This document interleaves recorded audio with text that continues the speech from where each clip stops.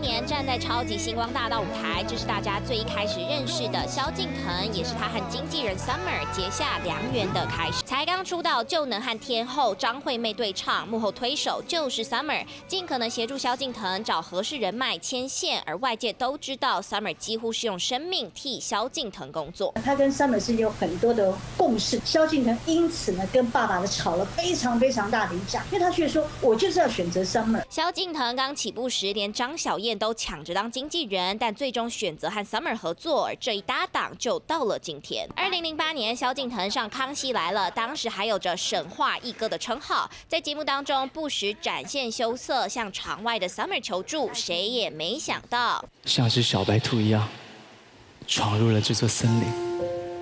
十年过去，萧敬腾站在金曲奖台上主持，这一路来，Summer 功不可没。而其实他的爸爸是资深艺人林光宁，在秀场就担任经纪人，也影响了 Summer。